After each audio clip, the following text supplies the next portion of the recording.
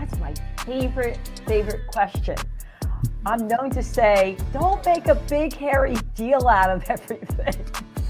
Let's just take a breath, take a step back.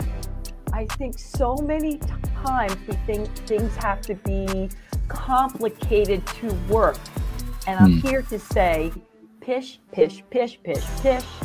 It's a few moments we take every day, just a few moments, a minute here and a minute there, Hmm. to decide how we're going to show up in the world in a positive, powerful mindset. And I spent my entire life teaching myself and others how to do that.